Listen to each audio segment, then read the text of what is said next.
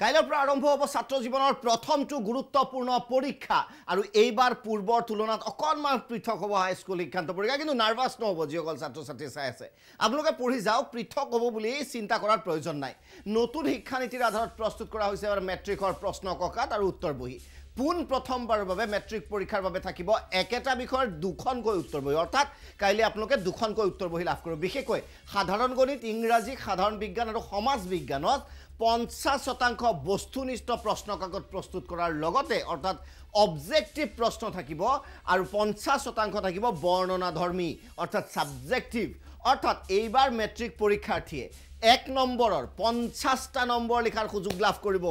বহুতৰ বাবে এক সুবৰ্ণ সুযোগ বুলি ক'লেও ভুল নহ'ব কাৰণ এক নম্বৰকৈ পঞ্চাছটা প্ৰশ্ন থাকিব অবজেক্টিভ আৰু গণিত আৰু বিজ্ঞান বিষয়ৰ ক্ষেত্ৰত উত্তৰ বহীত প্ৰশ্ন সমাধান কৰিবলৈ খালী ঠাই থাকিব। আপুনি হিচাপ নিকাচ কৰি খালী ঠাইত আচলতে নম্বৰটো বহাই দিলেই হৈ গ'ল। আনহাতে পৰীক্ষা আৰম্ভ হোৱাৰ পোন্ধৰ মিনিট পূৰ্বে আকৌ এটা ভাল খবৰেই ক'ব লাগিব। পৰীক্ষা আৰম্ভ হ'ব হোৱাৰ পোন্ধৰ মিনিট পূৰ্বে পৰীক্ষাৰ্থীয়ে লাভ কৰিব প্ৰশ্ন কাকত। অৰ্থাৎ প্ৰশ্ন কাকতৰ বাবে আপুনি পঢ়ি সময় নষ্ট কৰিব নালাগে ফিফটিন মিনিটছ এক্সট্ৰা প্ৰথমে পৰীক্ষাৰ্থীক দিয়া হ'ব আঠ পৃষ্ঠাৰ বস্তুনিষ্ঠ প্ৰশ্নৰ উত্তৰ বহি। প্ৰথম পাব এখন উত্তৰ বহি আৰু আঠ পৃষ্ঠাৰ হ'ব য'ত অবজেক্টিভ কুৱেশ্যনছ থাকিব এক এক মাৰ্কৰ এক এক নম্বৰৰ এক এক নম্বৰৰ। ন বাজি পঞ্চল্লিছ মিনিটত পৰীক্ষাৰ্থীক দিয়া হ'ব ষোল্ল পৃষ্ঠাৰ বৰ্ণনাধৰ্মী প্ৰশ্নৰ উত্তৰ বহি অৰ্থাৎ প্ৰথমখন জমা দিয়াৰ পিছত দ্বিতীয়খন বহি।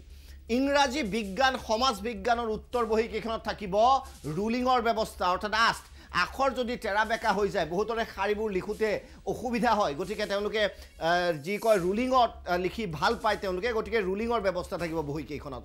এইবাৰ মেট্ৰিক পৰীক্ষাত অৱতীৰ্ণ হ'ব চাৰি লাখ বাইছ হাজাৰ এশ চৌসত্তৰগৰাকী পৰীক্ষাৰ্থী। ইয়াৰে এক লাখ চৌৰানব্বৈ হাজাৰ চৌৱন্নগৰাকী প্ৰাৰ্থী হৈছে ছাত্ৰ আৰু ৰাজ্যৰ সৰ্বমুঠ নশ বাৰটা কেন্দ্ৰত অনুষ্ঠিত হ'ব মেট্ৰিকৰ পৰীক্ষা। নতুনকৈ সংযোজন কৰা হৈছে নটা কেন্দ্ৰ। প্ৰতিটো পৰীক্ষা কেন্দ্ৰৰ এশ মিটাৰলৈ। বলবৎ কৰা হৈছে এশ চৌৰাল্লিছ ধাৰা। অৰ্থাৎ তাত ব্যক্তিসকল সমবেত হ'ব নোৱাৰিব। মোতায়েন কৰা হ'ব বৃহৎ সংখ্যক ফ্লাইং স্কোৱাড উল্লেখযোগ্য যে পৰীক্ষা শেষ হোৱাৰ ষাঠি দিনৰ ভিতৰত দিয়া হ'ব ফলাফল। গতিকে কাইলৈ যিটো কুৱেশ্যন পেপাৰ পাব পঞ্চাছ নম্বৰৰ এক নম্বৰৰ অবজেক্টিভ পঞ্চাছ নম্বৰ ছাবজেক্টিভ অৰ্থাৎ বৰ্ণনাধৰ্মী।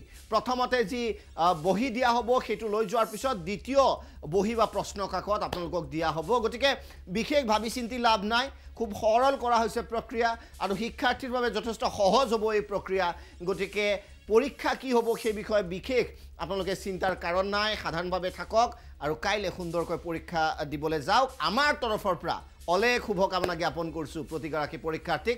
এটা মন্তব্য দেখুৱাব বিচাৰিছোঁ এই সন্দৰ্ভত। গণিতৰ বিষয়ে যদি তেওঁলোকৰ কিবা ৰাফ ৱাৰ্ক কৰিব লগা থাকে চবতে আছে আমাৰ পেজ নম্বৰ ওৱান টু আৰু পেজ নম্বৰ এইট খালী আছে সেইটো তেওঁলোকে ৰাফ ৱাৰ্ক কৰিব পাৰিব। আৰু তাৰ বাহিৰেও যদি কিবা ৰাফ ৱাৰ্ক কৰাৰ কাৰণে বহি মানে পেপাৰ লাগে তেতিয়া এক্সট্ৰা পেপাৰ খুজিব পাৰিব। মাত্ৰ এটাই আছে যে তেওঁলোকে যেতিয়া বহীটো পায় প্ৰথম বহীটো পোৱাৰ পিছত তাত সম্পূৰ্ণ ৰোল নম্বৰ লিখিব। দ্বিতীয় বহীটো পোৱাৰ পিছতো তাতে নিজৰ গোটেই ৰোল নম্বৰবিলাক লিখিব।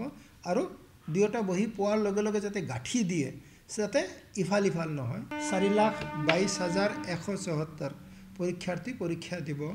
অহাকালিৰ পৰা আমাৰ মূল পৰীক্ষা আৰম্ভ হ'ব। এইসকল পৰীক্ষাৰ্থীক মই সেৱা কৰ্তৃপক্ষৰ ফালৰ পৰা আন্তৰিক শুভেচ্ছা যাচিছোঁ। আমি এইবাৰ অলপ সালনি ঘটাইছোঁ আমাৰ চাৰিটা মূল বিষয় যেনেকৈ ইংৰাজী বিজ্ঞান গণিত আৰু সমাজ বিজ্ঞান এই চাৰিটা মূল বিষয়ৰ প্ৰশ্ন কাকতত প্ৰশ্ন কাকত এটাই তাত ফিফটি পাৰ্চেণ্ট আমাৰ অবজেক্টিভ কুৱেশ্যন থাকিব আৰু ফিফটি পাৰ্চেণ্ট ডেছক্ৰিপটিভ কুৱেশ্যন থাকিব। বহি এনচাৰ বহি আমি দুখন কৰিছোঁ যিটো কুৱেশ্যন পেপাৰ যিহেতু য'ত ডেছক্ৰিপটিভ কুৱেশ্যন আছে তাৰ এনচাৰ বহি বেলেগ আছে।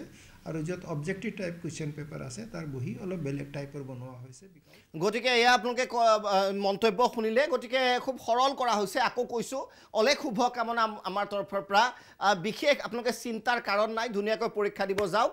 আৰু আকৌ কৈছোঁ যে এই নতুন প্ৰশ্ন কাকত কি হ'ব কেনেধৰণে আমি লিখিম পাৰিম নে নাই এই বিষয়ে আপোনালোকে চিন্তা নকৰিব। যিসকল পৰীক্ষা হলত থাকিব টিচাৰসকল শিক্ষকসকল তেওঁলোকে আপোনালোকক ভালকৈ বুজাই দিব।